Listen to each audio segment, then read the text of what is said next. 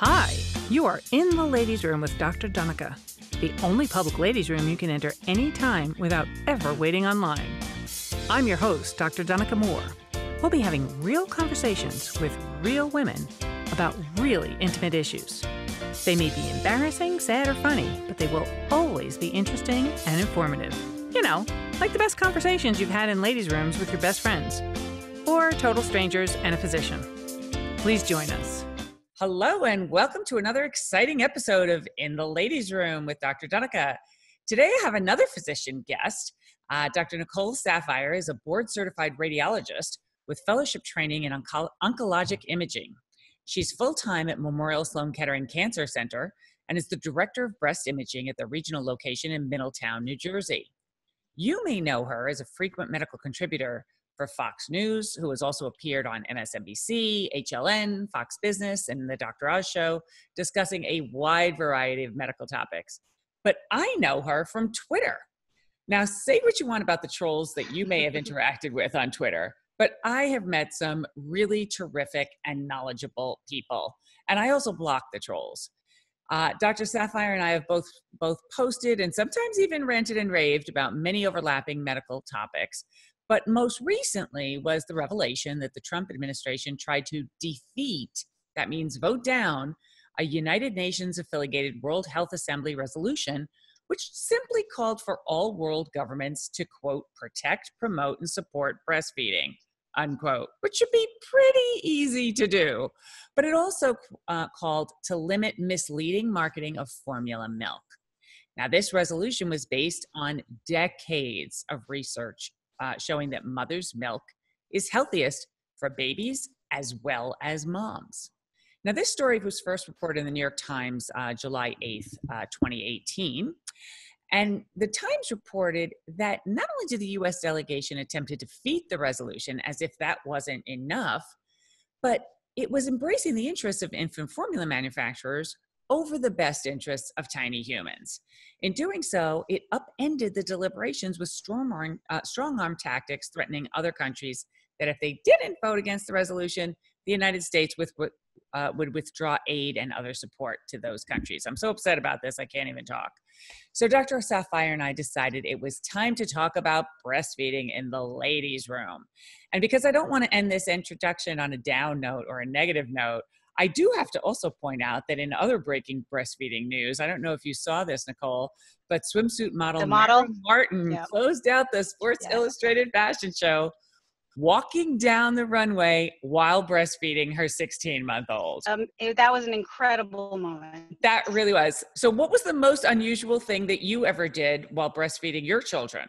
Which I assume you breastfed your ah. children. Well, you know, I have three boys. I'm a mm-hmm. boy mom for sure. They mm-hmm. range from 18 down to almost four. Wow. And I breastfed all three of them, mm-hmm. each for 12 to 14 months mm-hmm. each. And, you know, that was a challenge in my mm-hmm. life. But I would say that my favorite moments are pumping while driving Aye. Uh, and I assume you use from work or whatever it is. I assume but, you, you know, use the term favorite with quotation marks around it. yes, absolutely. uh, yeah, you know, when it comes to breastfeeding, you know, you and I, we know the benefits of it. And one of the reasons I'm upset about this proposed resolution or resolution or the stance that the United States is officially taking on breastfeeding is you know i know that breast milk is what's best for all children. Mm-hmm. unfortunately not everyone knows that. And you know you do have advertisers in the world of formulas that are saying nearly equivalent to equivalent to breast milk but there's you know from the breast one there's just so much more benefit when it comes to breastfeeding. And you know it is disappointing to hear that but i'll be honest you know the united states has had a contentious relationship with this whole idea of promoting breastfeeding for the last century. So I don't know if this is new. I just wish it wasn't current news. Right. So what we're going to try to do today is of course talk about our own experiences because if you get ever get two mothers together who've ever breastfed their children, we have tons of our own personal stories. I only breastfed two children. Um, but I think my daughter breastfed for so long that it counted as a double, a double header. Um, but we're also then going to switch gears and talk about, you know, being doctors and who've read the research and read the literature and talk about not only the benefits to the baby, but I also want to talk about the benefits to the moms. And of course, you're a breast cancer expert. Uh, so I want to start with tell everybody about the relationship between breastfeeding and breast cancer. Well, a little known fact is that breastfeeding your child actually decreases your risk of breast cancer. It, actually, it's not just breastfeeding at all. We really say greater than six months lowers your risk for breast cancer. And there are multiple reasons behind that. Mm-hmm. One being if your breasts are so active producing milk, they're too busy doing that to form other bad things. um, now, that's not to say breast cancer can't form when you're breastfeeding. However, it does lower your risk overall from breast cancer. It also is noted that when you are breastfeeding, a lot of the times you don't have a menstrual cycle. And the mm-hmm. fewer menstrual cycles you have, that'll decrease your risk of breast cancer as well. And lastly, we tend to be a little bit healthier when we're breastfeeding. Mm-hmm. Most of us should be at least. You decrease the alcohol if you don't, if not abstain mm-hmm. altogether. You eat a little bit more healthily. Maybe you're exercising more. Your metabolism's up. So just those healthy behaviors in general overall decreases your risk of cancer and of course breast cancer as well. Absolutely. And, and then course- outside of the breast, we know that there are positive psychological benefits to breastfeeding as well. Now, I'm not a psychiatrist or mm-hmm. psychologist, but I, I do know that you do feel that bond and you do feel needed. And there are just so many positive moments that you have while breastfeeding. So physical well, because, and mental health. Because breastfeeding stimulates oxytocin production, yes. which is that what we call the feel good hormone. Um, so, you know, it was interesting that you talked about how breastfeeding is healthiest for moms. Uh, of course, President Trump tweeted because there's a tweet for everything from him. For everything. Um, but in in response to the backlash that people were just horrified that the united that we would take this position in a united nations world health assembly kind of resolution. So in response to the backlash he tweeted quote the united states strongly supports breastfeeding but we don't believe women should be denied access to formula Many women need this option because of malnutrition and poverty, which well is ridiculous. So I, I, will rebuttal that slightly. I think you absolutely need breastfeeding more mm, when you're in, have malnutrition and poverty. And I don't maybe he just doesn't understand that and i wouldn't necessarily expect him to but it is in our impoverished areas that we really need to be promoting breastfeeding because when it comes to formula feeding, and by the way, you know, Mark Twain says it best all mm-hmm. generalizations are false. And so I'm not going to say breastfeeding is right for every single mother, but we're talking majorities here. And again, I'm talking my opinions. But when you have a, a, mother who's feeding formula, it's very important that they have clean water, that they Absolutely. sanitize. And by the way, formula is expensive. Mm-hmm. So in these times, or what President Trump tweeted out, that's actually where we really need to be promoting breastfeeding. Unfortunately, Absolutely. I don't think he got the memo. Yeah, so we did have a guest in one of our previous episodes in the ladies' room uh, who was from the international NGO Water Aid. And one of the things we talked about is of all of the consequences of people not having clean water. And that's just not that's not just in third world countries. That's also in Flint, Michigan. That's in Puerto Rico. And recently, a study came out that on over a hundred Washington D.C. was just on a boil advisory. I mean, and everywhere. over a hundred military bases in the United States mm-hmm. uh, do not have acceptable clean water in many of their facilities. So, you know, that this issue of not having clean water is the biggest risk to infant health in impoverished areas. And of course, the other thing is, as we know, even when a mother is malnourished, breast milk gets the priority. So right. breast milk gets the first nutrients. In those cases, it actually may be more damaging to the mother's health. We also know that in wealthy American women who don't have adequate calcium, breast milk gets the majority of the priority for calcium and to the point where it may leach the calcium from the mother's bones, but the baby will have adequate nutritionally balanced breast milk. Now, the cost of formula, I did look up and find a statistic um, that there was a report, researchers ran a cost analysis, reported that if 90% of the mothers in the United States breastfed exclusively for six months, it would there'd be a savings of thirteen billion dollars per year. Wow. And that's just in our country. So yeah, formula is expensive. Um, and I'm not against formula. I actually, with my first child, I uh, was working a lot. Um, he was a little uh, premature, and I couldn't keep up with the breast milk production. He needed to eat every two hours. So I alternated breastfeeding and formula feeding. And lots of people talk about this issue of nipple confusion. He had no nipple confusion. he didn't care where his food was coming from so long as it kept coming. So I guess I don't get credit for exclusively having breastfed every six months with him, although I did breastfeed every six every four hours. So uh, maybe well, I get some extra credit. You know, w- women wear women wear breastfeeding like a badge of honor, mm-hmm. but the mm-hmm. reason is because it's hard. It's, it's hard. very hard. I was extremely fortunate. I had good milk production, mm-hmm. um, but I have so many friends and colleagues who don't, and you know I can't necessarily understand that. But even for someone who was produ- overproducing milk. I had freezers full of frozen milk. I mean, after I decided to stop breastfeeding, I still had three months supply frozen. Did you donate it? Um, no, I just kept giving it to my my boys. so yeah, because there I, are I mean, there are breast milk banks where they accept breast, breast I, milk absolutely I've seen women that. who can't breastfeed. Um, I never did that, um, but I think you know if you said you can't, did you say you can't understand when women can't produce enough or when women are producing too no it's not that i can't understand. It's i i it, it is unfortunate and you know i i sympathize with them but i can't emphasize empathize with them because i don't know what that's like. But i can't imagine the um, you know the anxiety and the depression that may go along with a woman who isn't necessarily producing as much feelings of inadequacy and you know, unless they have a very strong support system around them, I think that could also be a downward spiral for a woman. Well, anxiety is one of the things that can decrease your milk supply.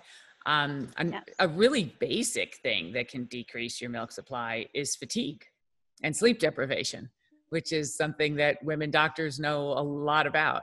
Uh, in my case, what I found was a big part of it was just mm-hmm. simply not drinking enough water. Um, and I really needed to drink. But the bonus benefit, the reward we get for all that hard work is about fi- burning about 500 extra calories per day. So, did I lose you? Can you hear me? Oh, I think I lost no, you for a second. Here. Can you hear me? yeah, I lost you on the video. I'm here. Um, so, breastfeeding burns extra calories. So, anyway, I started with a question about what was the most unusual thing you ever did while breastfeeding. Um, so was there a, a I, so I bre- I breastfed at very at, at, various places during my life. I breastfed as a college student. I breastfed as a resident, and I breastfed as a fellow. Wow! And a fellow Bingo. then graduating or mm-hmm. new attending. So um, I, I would say that you know the the challenge for me was finding places to pump, mm-hmm. and that was you know what i found the most interesting and challenging as well but a lot of it happened in the car mm. well my first child is 25 so my biggest challenge was finding an adequate pump in those days the the handheld pumps were really your only home option and eventually i purchased one of those industrial strength pumps which was humongous and it had this big carrying case uh, and I remember at the time I was a medical director for a pharmaceutical company, and I was in the elevator carrying this large thing, which came in a bright blue case. And the CEO of the company was in the elevator with me and said, Oh, what's that? I explained what that was. But my most unusual uh, location of where I breastfed, I was actually, when I was seven weeks postpartum, I was a speaker at a, ACOG, a regional ACOG meeting in New York. And I was sitting in the back of the room and it was almost my turn to speak. So I decided to nurse him right before I talked, but I needed to hear the previous speaker so I could comment of course. on the remarks. Uh, and my nanny was literally waiting right outside the room to take him, you know, as soon as I would go up and give my talk.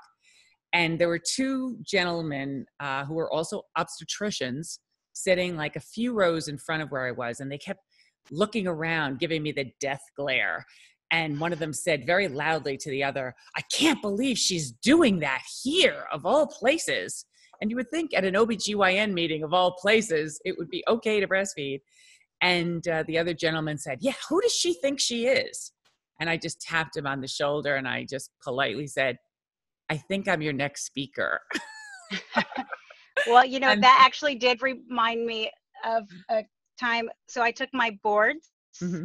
my oral boards. I'd far past my written boards, my mm. physics boards, but my oral boards, we had back in the day because mm-hmm. we don't they don't do that anymore but we had to actually fly to louisville wow. and do our oral boards there and i was in the thick of breastfeeding mm-hmm. and so it was either take the baby and a nanny or someone but i decided to fly in and fly out so mm. i round tripped it for 16 hours flying in and out of louisville um, breastfeeding and so for the oral boards it's seven hours straight from mm. one room to the next there's no break times there's no pumping times mm. and i had such limited time between my last interview and my flight i ran straight from there to the airport by the time i got on the airplane i was so in, uncomfortably engorged but i sat in the airplane bathroom mm. and pumped for about 30 minutes Oh gosh. So I have an airplane story about breastfeeding. Um, when I was breastfeeding one of my children, I had a meeting in DC and I decided to just fly in, fly out. So I nursed, raced to the airport, and this was before 9 11. So you didn't have to worry about security lines right. or anything. I just ran right to the gate, went to the, my meeting, came back to the airport, and I thought, oh, great, I'm going to make it in, you know, five hours. I'm on the plane and I was on the plane sitting on the runway for several hours while Bill Clinton had his now famous, infamous haircut on the airplane. And most people at the time did not realize, I think most media at that time focused on the fact that it was a $400 haircut. I don't care if it was a $4,000 haircut. The real issue is that when the president is in an airport, the that airport and the two nearest airports are completely shut down for incoming or outgoing traffic. So, and we were seatbelted and couldn't get up and go to the bathroom. So I just leaked all down the front of my uh-huh. clothes as I was saying really, really very not nice things about the president. And I was oh, sure I was going to get a call from, you know, Secret Service about some of the remarks I made. And because the captain of the plane was telling us why we were sitting on the airplane. But I heard another airplane nursing story that was great from Kathy, Kathie Lee Gifford, who talks about, you know, how she was in first class, she was in the window seat, she, you know, had her baby and she carefully draped a blanket and she was being so discreet when the flight attendant came over and shrieked, Ah, are you Kathie Lee Gifford? And is that your baby you're nursing? And Kathie Lee said, No, we're doing a special promotion. I'm nursing all the babies on the plane today. That's great. I, I mean, that. I had some not so nice, you know, encounters mm-hmm. of, with breastfeeding. One occurred on the plane. I was also in first class on the window because if you're traveling with a breastfeeding infant, that's kind of the best place to be if you're able to be there because you can mm-hmm. hide um, and you have the space. And so I was the same way. I was very quietly draped and the bait my son they were amazing little boys and mm-hmm. so i was feeding him quietly mm-hmm. and his foot little foot rested on the the central armrest mm-hmm. and the gentleman left next to me said i hope you don't plan on thinking that's your armrest the entire thing we are sharing that i would appreciate if you move his foot I'm like which is pretty amazing okay. because every man I have ever sat with on an airplane ever in all my years of being a frequent flyer, every man has always assumed that that armrest is theirs. And, you know, yes. he's doing manspanning. Unbelievable. so, how did you respond? That's symbolic of greater things in this world, by the way. how did you respond? Um, I pressed the little ding dong, and the um, air, flight attendant came to me and I said, I recommend either you move me or you moved him or like wow. have an altercation at some point during this flight. I didn't even acknowledge his existence. And was she able to and move you? That's what happened. And and interestingly, a gentleman who was Oh, I'm losing. saw this whole thing, Uh-huh. and he actually said, "I will gladly switch with." He's a gentleman across the way said, "I will gladly switch with her and sit next to this gentleman so that he, I can put my arm on that armrest and he can now have a problem with me." I, I thank you for remember sticking up for me. The first time I flew uh, with uh, also in first class, and I don't fly first class that often, but um, I the first time I flew in first class with two babies, everyone else in the cabin gave me the death glare. They were just like They all are like, Ugh. that somebody could bring these two vermin into first class. And the kids were fabulous. They didn't make a peep. And as the men were getting, they were all up, they were all men. And as they were getting off the plane at the end, it was each one almost felt like they had to apologize to me that you know the kids were so well behaved and they knew that they had reacted horribly about having the babies. But lest we leave on a bad note, I also had an experience on a plane once where I was with the two kids by myself and they were like my kids are only 16 months apart. So I had like a newborn and a toddler and uh, a gentleman across the way said to me, "If you need any help or if you need to go to the restroom mm-hmm. by yourself, I'm certified as the father of 3 and I would be happy to you know, help you in any way." And that was the only time Wow. in 18 years traveling with children that anyone ever offered to help me. So I thought that was wonderful. So anyway, back to breastfeeding. So what advice would you give women who are having difficulty first making the decision about whether or not to breastfeed? And of course, this is a completely no judgment zone. right of course this, this is just my opinion. I Oh, wish that it wasn't necessarily you have to make a decision to breastfeed. I necessarily you have to make a decision to breastfeed. I truly wish that the intention is always or Mhm. that you're going to breastfeed.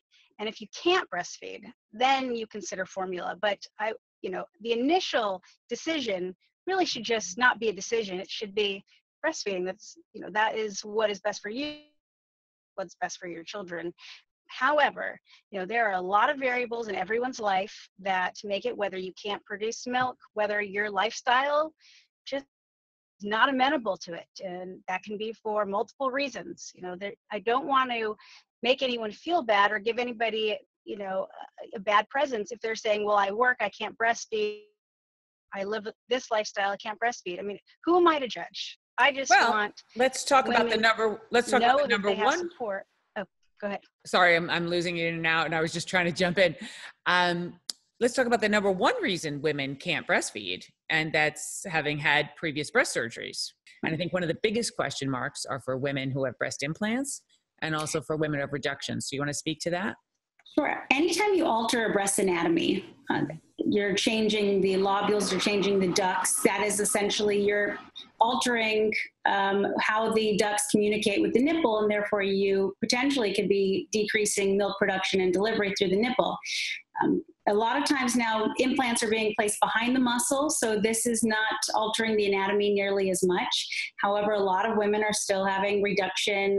Um, mastopexies, which really, if, as a as a breast imager, when you see that on a mammogram, it is it is crazy on the inside what happens. I mean, it look it has a great cosmetic outcome by um, reducing the size of the breasts and making them maybe a little bit more perky. But on the inside, they're essentially taking a pie wedge out and then pulling it all back together and pinning it in. So it's really disrupting a lot of the anatomy of the breast, which could potentially cause future problems of breastfeeding. Yeah, we had a great episode where we talked about a woman. Uh, we talked with a woman who had had a breast reduction when she was a teenager, uh, and we actually called it tweaking the teens because it turns out breast reduction surgery in teenagers is actually one of the fastest growing cosmetic surgeries in teenagers, not just in girls, but also in boys. And this is in large part due to our obesity epidemic uh, and also our bullying epidemic. Um, what other barriers are there to breastfeeding? Um, you know, certainly there are women now who are having children after having had cancer. So certainly, of course, having had a mastectomy. Uh, but then there are many women who are getting treatment for other medical illnesses, so they may be on medications. Uh, any other of those? You have physical, mental, me- physical and mental barriers to breastfeeding. Um, you mentioned some of them. Obviously, having a mastectomy, you're not, you know, have no longer have breast tissue, so you will not be able to breastfeed. Mm-hmm. Um, but also having any sort of illness, a lot of medications can decrease milk production. Sometimes when you are breastfeeding, I'm sure you know, your nipples can actually get really raw and it's painful and they can bleed yes. or they can get infected or anything. And all of a sudden you don't necessarily want to breastfeed anymore. But the answer is you really should keep going because it will get better. So those are a lot of the physical barriers to it. Um, not to mention women who go back to work right away mm-hmm. or who are out in public or are around a lot of people. Maybe they don't feel comfortable doing it in public. Um, they don't feel comfortable pumping at their workplace. Mm-hmm. Um, then also um, emotionally, it, it, it's very difficult for anyone to have a baby. It's not all rainbows and unicorns. Yeah. You have babies. You know, you are sleep deprived.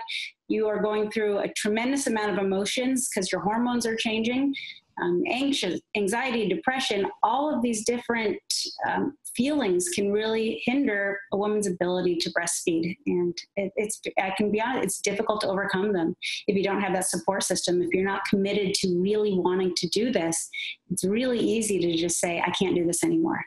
Well, and I think one of the issues is that we are so obsessed with privacy in breastfeeding where you know i know i did this and most of my friends did this where we nursed in the bathrooms you know so what a be- what better topic for in the ladies room uh, to discuss uh, i actually had a woman i was i was breastfeeding once in a department store ladies room which they're usually very nice with you know the couches you know before the toilet area and I was just sitting there minding my own be- uh, minding my own business, breastfeeding. And this woman said, "I can't believe you're doing that here." And I said, well, where should I exactly be doing this? if you can think of a better place, I'm eager to hear it. But I think what this model did, of course, was so striking. Uh, Mara Martin in the Sports Illustrated show that she marched down the runway while nursing the baby. I think most people have not seen a woman bare breastedly nursing a baby in public. Now, of course, what I also think was a very surprising thing that she did is she was in the Sports Illustrated uh, swimsuit fashion show being a very muscular, very fit, not skinny model. Uh, so I think that was also a big barrier breaker for a lot of people. And they had her finish out the show. Right. And, you know, we're in a, it's a different era. People are proud of their bodies. I mean, we're, I mean, we have the Kardashians, so it's American royalty right now, and they have really emphasized being voluptuous. And I think it has changed people's idea of what the perfect body is. When it comes to breastfeeding, I'm definitely in the middle. I'm, the pendulum didn't go too far either way for me. Um, I, w- I did breastfeed in public, but I never bared all. I was always very covered up. Um, and I really, you know, I would try and arrange things so that I didn't have to necessarily breastfeed in public. Um, but uh, on the same token, if I saw a woman bare breasted breastfeeding, I wasn't offended by it. Mm-hmm. Um, just wasn't something I was comfortable with. Yeah. It's very interesting, too, how social media has, until very recently, been screening out photos of women breastfeeding as pornography. And on the same token, that, yeah, I was gonna say they don't allow women who's had who've had mastectomy and reconstruction to discuss surgical scars and stuff.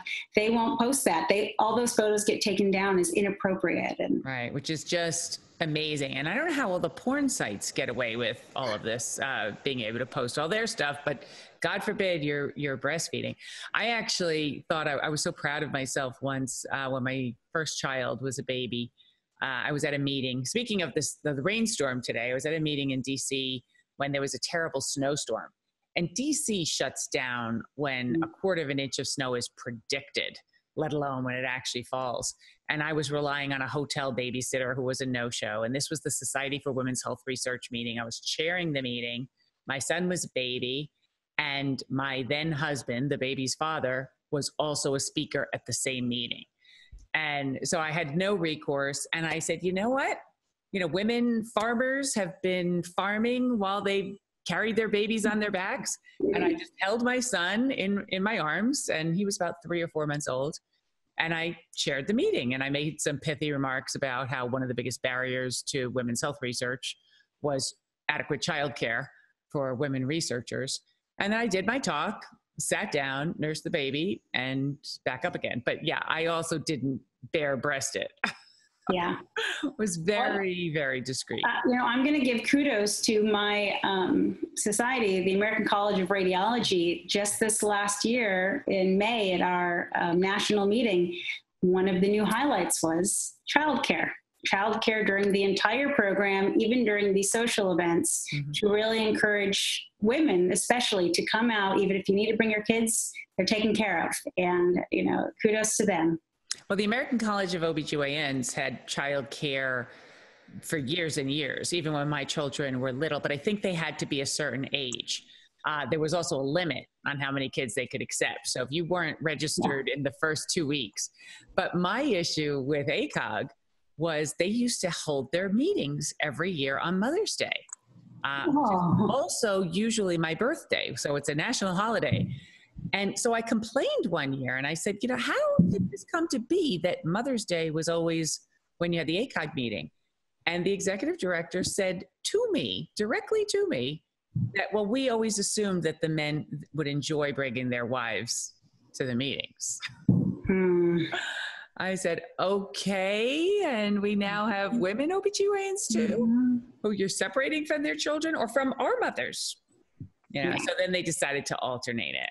Um, well, that's good. They explained to me they booked the meetings like five years in advance. So let's talk about, uh, just to wrap up, we kind of glossed over the assumption, because uh, we assume this, that everybody knows what the be- benefits of breastfeeding are to babies. So, aside from the fact that it's perfectly composed nutrition, what are the other health benefits uh, of breastfeeding babies?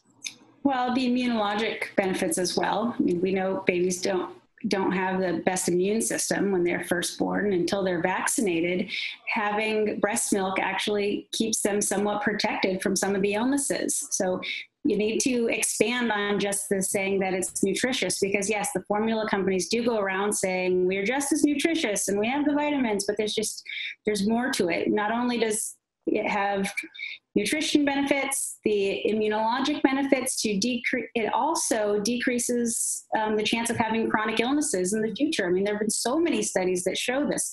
You know, decreases risk of SIDS. It decreases ear infections. It can decrease respiratory infections. It can decrease long-term obesity and I'm sure anything else you can find one study that says breastfeeding decreases the risk of this. Yeah, my, my biggest motivator was the decrease in ear infections because, as every mother knows, like ear infections are such a horrible nuisance. And fortunately, in most cases, it's not a severe illness, but it keeps you both from sleeping. It keeps the whole family from sleeping.